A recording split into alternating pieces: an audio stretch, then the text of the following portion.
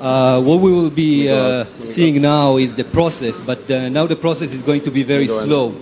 Uh, we do it slowly for the purposes of explanation and uh, for the purpose that uh, our photographer can actually take some photos. Uh, as you've seen before, I don't know if uh, anybody timed the process, but it took about uh, 70 to 80 seconds to complete the switch station, the switch process.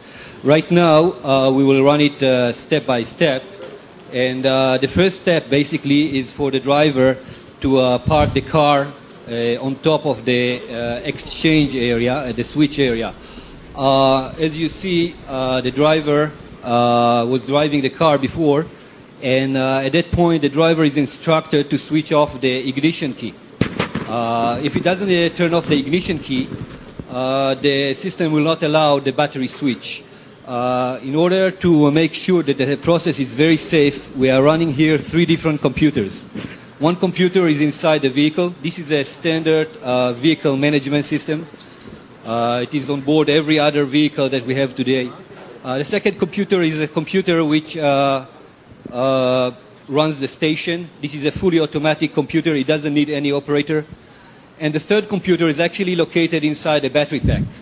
The battery packs are very safe. They have a computer which monitors the safe operation We need the of the process and the safe operation of the battery uh, throughout the entire uh, cycle, uh, and of course throughout the entire period where it is uh, on the car and uh, driving the car. Uh, so uh, once the vehicle is in position, the first thing which happens is that uh, the robot, uh, which is uh, located under the vehicle, is actually getting a fresh charged battery pack, which is stored in our storage area, which is in the back side of the station. So uh, we'll ask our operator now to move this uh, fresh charge battery pack and be, bring it to the area uh, where uh, you can all see it. The speed of uh, motion can actually be increased, uh, so it can move actually faster. Okay, so what you can see here, this is a fresh charge battery pack. Now, if you don't believe me, uh, on normal day, normal condition, when this battery pack is assembled to the vehicle, there are 400 volts here. But you can see I can touch those with my fingers and nothing happens. So anybody who says it is dangerous, then this is not really the case here. Now, this battery pack needs to go into the vehicle, but before that, we really need to remove the other battery pack. So what happens is that we have a lifting uh, device, uh, which basically is an electric- electrically operated hydraulic uh, platform. You see, this is a very simple platform. It's actually flat. We can interface different type of battery packs. It is not designed to meet the specification of this battery pack. We can interface big packs or small packs. It's just a flat surface. And uh, what happens now is that the station computer connects to the computer which is on board the vehicle and ask it if it is possible to release the battery pack. The onboard computer on the vehicle makes sure that it is safe to remove the battery pack, meaning that this electrical connector here is no longer energized. So uh, right now, what happened is that the station computer requests the permission to release the battery pack. The vehicle controller makes sure it's safe and release the pack. As you can see, the vehicle itself moves a little bit because a 250 ba- kilogram battery was just now released from the vehicle itself. It's like, Okay, it's like, right uh, now, The movement is like uh, two American people leaving the car. Yeah, exactly.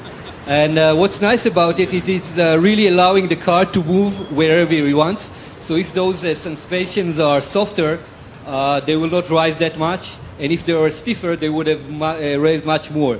So uh, right now, uh, the battery pack is released and it is supported by our platform. And it is now lowered back to ground level. Okay, the next step will be uh, to uh, move the fresh charge battery pack under the vehicle, and it is now in position. And now we'll ask our operator to push it up, and this is now being hydraulically pushed up into the vehicle. In the last phases, there is a process where the battery self-aligns itself to the, to the vehicle. So the vehicle doesn't have to be really that precisely located.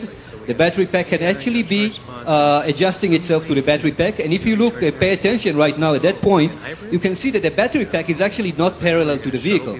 So uh, most engineer will say this is impossible to do now because the pack is not really parallel to the vehicle. How can you mount it? Well, the trick is actually in the car. There is a special uh, latching mechanism which uh, it doesn't really care what is the orientation of the car. It will pick the battery anyway. So uh, now we'll ask our station computer to instruct the car to uh, lock the battery into the vehicle.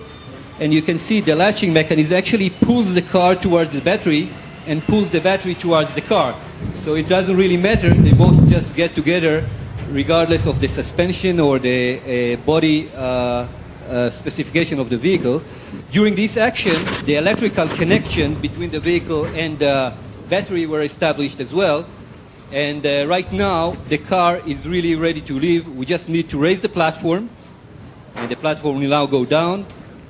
Not only that, we will send the battery pack, the depleted battery pack, into the station so it can be charged. And we can actually instruct our driver by giving him a, a red, a green light there to leave uh, the station. And you can all see that uh, basically the process was completed and the battery will uh, actually cause this car to move. And uh, you see the vehicle is very silent. You can hardly notice it's uh, moving.